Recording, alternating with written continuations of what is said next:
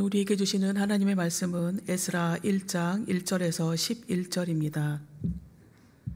구약성경 711쪽입니다.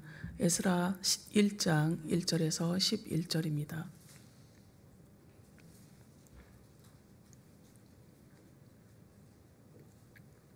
한 절씩 교독하시고 마지막 절 함께 읽으시겠습니다.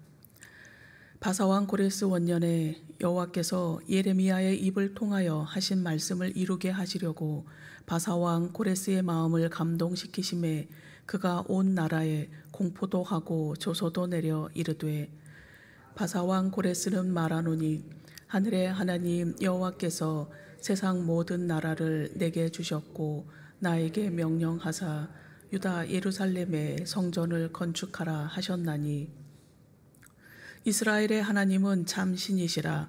너희 중에 그의 백성된 자는 다 유다 예루살렘으로 올라가서 이스라엘의 하나님 여호와의 성전을 건축하라. 그는 예루살렘에 계신 하나님이시라. 그 남아 있는 백성이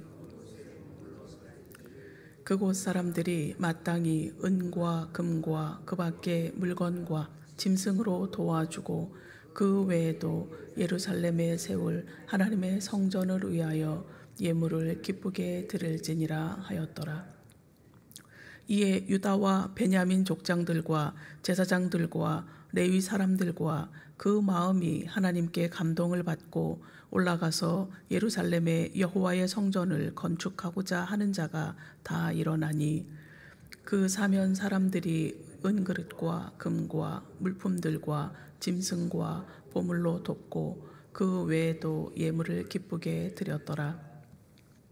고레스 왕이 또 여호와의 성전 그릇을 꺼내니 옛적에 느부갓네살이 예루살렘에서 옮겨다가 자기 신들의 신당에 두었던 것이라. 바사 왕 고레스가 창고지기 미드르닷에게 명령하여 그 그릇들을 꺼내어 세워서 유다 총독 세스바살에게 넘겨주니 그 수는 금 접시가 서른 개요, 은 접시가 천 개요, 칼이 스물아홉 개요, 은 대접이 서른 개요, 은 대접이 사백열 개요, 그 밖에 그릇이 천 개이니 금, 은 그릇이 모두 오천사백 개라. 사로잡힌 자를 바벨론에서 예루살렘으로 데리고 갈 때에 세스바살이 그 그릇들을 다 가지고 갔더라.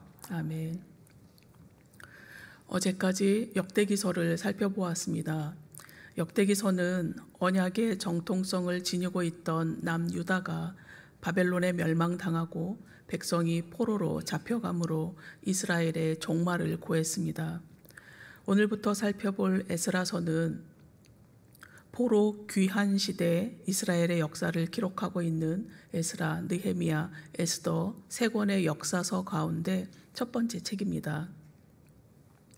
이스라엘 백성이 포로 생활을 하던 이방 왕들의 마음을 하나님께서 어떻게 움직이시며 그들을 도구로 사용하셨는지를 기록하고 있습니다. 또한 포로 생활을 마치고 고국으로 돌아온 백성들이 예배, 예배를 회복하기 위해서 직면해야 했던 여러 가지 도전들을 기록하고 있습니다. 저자 에스라는 학사 겸 제사장입니다. 그는 제2차 포로 귀환과 신앙 개혁을 주도하는 사명을 감당했습니다. 에스라서의 1차 독자는 귀환한 후에 신정 국가를 재건해야 할 포로기 후대의 자손들입니다. 에스라서의 역사적인 배경을 살펴보면 이스라엘 백성은 그들의 죄로 인해서 바벨론에서 포로 생활을 하고 있었습니다. 그들은 여러 해 동안 아시리아, 바벨론, 그리고 바사, 바사는 페르시아 제국입니다. 바사 제국의 지배를 받았습니다. 그 당시에 정치적인 주된 세력은 고레스 왕이 이끄는 바사 제국이었는데 바사는 오늘날의 이란입니다. 에스라서는 바사 왕 고레스의 통치 원년에 시작하고 있습니다. 고레스는 통치 원년에 매우 놀라운 선언을 했습니다. 그는 하늘의 하나님께서 자신에게 유다 예루살렘에 성전을 건축하라는 명령을 내리셨다고 선언합니다. 어째서 하나님께서 이방의 왕을 향해 말씀하시고 그런 일을 맡기신 것인지 이방인 왕이 어찌 이스라엘의 하나님을 위해서 예루살렘의 성전을 건축하는 문제에 관심을 보였는지 이해할 수 없는 일이었습니다. 그래서 에스라는 백성들에게 여러 해 전 선지자 예레미야가 했던 예언을 상기시키고 있습니다. 1절 말씀입니다. 바사왕 고레스 원년에 여호와께서 예레미야의 입을 통하여 하신 말씀을 이루게 하시려고 바사왕 고레스의 마음을 감동시키심에 그가 온 나라에 공포도 하고 조서도 내려 이르되 예레미야 선지자는 이스라엘 백성이 그들의 땅에서 추방당할 것에 관해서 말했습니다. 그리고 포로 생활로부터 70년이 지나면 풀려날 것이며 또한 포로 귀환 후에는 성전과 예루살렘 성을 재건할 것이라고 예레미야서에서 예언을 했습니다. 에스라는 예레미야 선지자의 예언을 상기시키며 바사왕 고레스의 마음을 감동시키시며 이스라엘 백성이 귀환할 수 있게 하셨던 주체가 하나님이시라고 전하고 있습니다. 이것은 하나님께서 택하신 백성의 구원은 절대적이라는 사실을 증거하고 있습니다. 백성의 죄는 엄하게 징계하시지만 택한 백성을 결코 버리지 않으시는 하나님의 절대적인 은혜와 사랑을 오랜 시간이 흐른 후 깨닫게 하고 계십니다. 하나님은 인생이 아니시기에 하나님의 방법은 우리의 방법과 다릅니다. 또한 하나님은 우리의 생각과 다른 생각을 가지고 역사를 주관하신다는 사실을 깨닫게 됩니다. 또한 이스라엘 백성들은 자신, 자신들만이 선민이라고 생각하고 자신들만이 하나님 역사의 주인공이라고 생각했습니다. 그러나 하나님께서는 하나님의 일을 이루시기 위해서 고레스와 같은 이방인도 사용할 수 있음을 알게 하셨습니다. 고레스는 자신이 하나님의 특별한 과업을 위해서 부르심을 받았다는 사실을 분명하게 의식하고 있었습니다. 고레스는 당시에 매우 강력한 왕이었습니다. 하지만 그는 자기가 이룬 일을 자신의 공적이라 여기지 않았습니다. 2절 말씀입니다. 바사왕 고레스는 말하노니 하늘의 하나님 여호와께서 세상 모든 나라를 내게 주셨고 나에게 명령하사 유다 예루살렘의 성전을 건축하라 하셨나니 고레스는 자신이 다스리는 바사가 바벨론을 무너뜨리고 중근동에 새로운 제국을 건설한 과업의 영광을 자신에게 돌리지 않았습니다. 비록 자신의 군대가 많은 나라를 정복했을지라도 고레스는 하나님의 도움이 없었더라면 자기가 성공할 수 없었으리라 여겼습니다. 그런 고레스를 사용하셔서 하나님께서는 이스라엘 백성들을 풀어줄 뿐만 아니라 이스라엘을 경제적으로도 지원하게 하셨습니다. 이방 왕 고레스는 이스라엘의 하나님을 참 신이라고 고백하고 있습니다. 3절 말씀입니다. 이스라엘의 하나님은 참 신이시라 너희 중에 그의 백성 된 자는 다 유다 예루살렘으로 올라가서 이스라엘의 하나님 여호와의 성전을 건축하라 그는 예루살렘에 계신 하나님이시라 고레스가 당시 여호와 유일신 신앙만을 가지고 있었다고는 볼 수는 없습니다. 다만 바벨론의 멸망과 고레스 자신의 등장을 예언하신 여호와에 대한 깊은 인상을 가졌던 것으로 보입니다. 그리고 지금 조서를 내리는 대상이 여호와 유일신 신앙을 가진 유대 민족이기에 그들의 입장을 고려하여 여호와를 극도로 높여서 묘사한 것으로 보입니다. 성전 건축을 명령한 고레스는 원주민들에게 예루살렘으로 귀환하는 이스라엘 백성에게 물질적인 보상을 하도록 지시하고 있습니다. 4절 말씀입니다. 그 남아있는 백성이 어느 곳에 머물러 살든지 그곳 사람들이 마땅히 은과 금과 그 밖의 물건과 짐승으로 도와주고 그 외에도 예루살렘에 세울 하나님의 성전을 위하여 예물을 기쁘게 드릴지니라 하였더라. 고대 근동 지방의 관습 중에 자신으로 인해서 피해를 입은 상대가 떠날 때에는 물질적인 보상을 해주는 관습이 있었습니다. 당시 이러한 보상의 관습이 그대로 이스라엘에게 적용될 수 있었던 것은 하나님께서 이스라엘을 위해서 이스라엘에 의해 고레스의 마음을 감동시켜 주셨기 때문입니다. 마침내 바사 제국 전역에서 예루살렘 성전을 세우는 작업에 필요한 물자들이 공급되기 시작했습니다. 5절에서 6절 말씀입니다.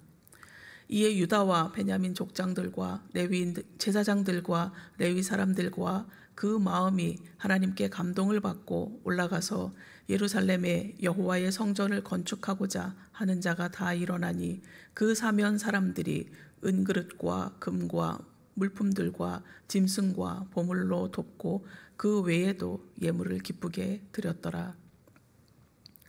유다와 베냐민 지파 족장들과 제사장들 그리고 레위 사람들이 먼저 앞장섰습니다. 그리고 마음에 감동받은 이들이 금과 은으로 된 물건들을 기부했고 이웃들은 가재 도구와 짐승까지 기쁘게 내주었습니다.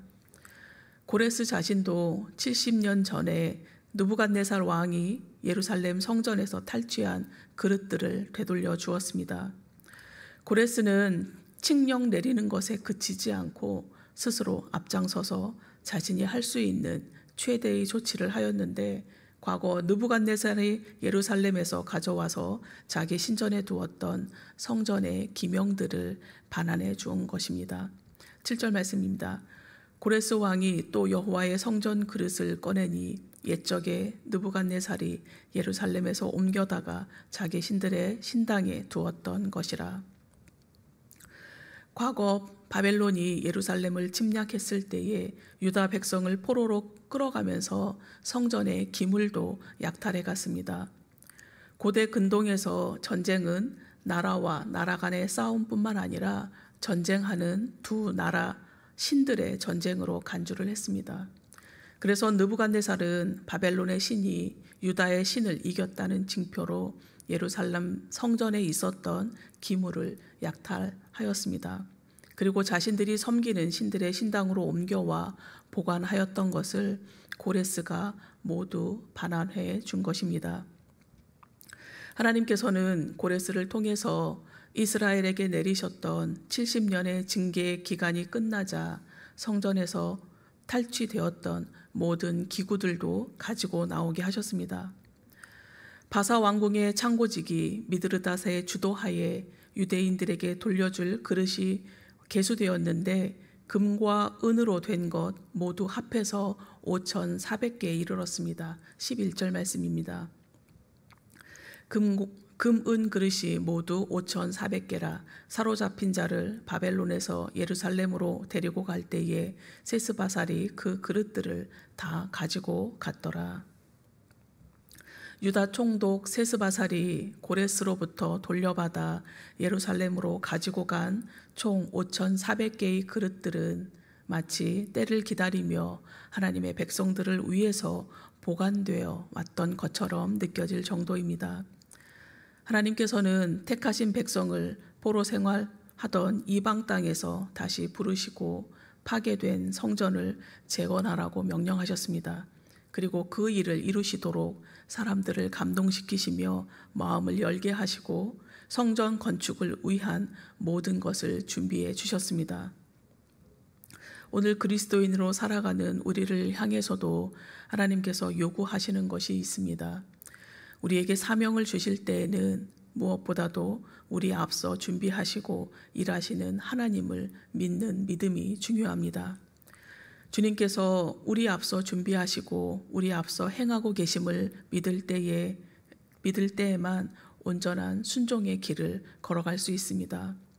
오늘 주님께 순종하며 내딛는 우리의 발걸음을 가로막는 것이 무엇인지 우리 스스로를 잘 보살핌으로 우리에게 주어진 오늘의 삶을 각자 견고하게 세워가기를 원합니다. 오늘 우리 각자의 삶의 자리를 곁눈질하지 않고 주님을 향해서 창문을 열며 견고하게 세워갈 때에 우리는 하나님의 자녀됨의 은혜를 누리게 될 것입니다.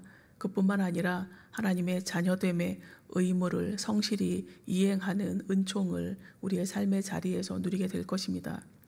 그러한 은총은 저절로 되어지는 것이 아님을 우리 각자가 너무나 잘 알기에 오늘도 하나님의 인도하심을 하나님의 이끄심을 간구하는 아침 되시기를 소망합니다. 기도하시겠습니다.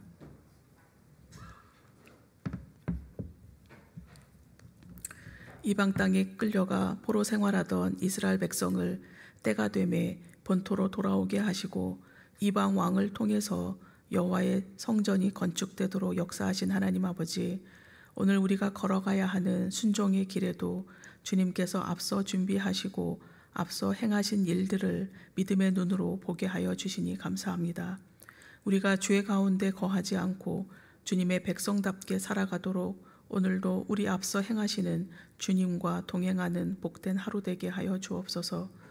혹 우리가 어딘가에 사로잡혀 있다면 이 시간 우리를 극률히 여겨 주시옵시고 주님 외에 그 어떤 것에도 우리의 마음이 사로잡히지 않도록 우리를 굳건히 지켜 주시옵소서. 그리하여 우리 모두가 하나님의 자녀됨의 은혜를 충만히 누리며 하나님의 자녀됨의 의무를 성실히 이행하는 은총을 누리게 하여 주옵소서. 예수님의 이름으로 기도드립니다. 아멘.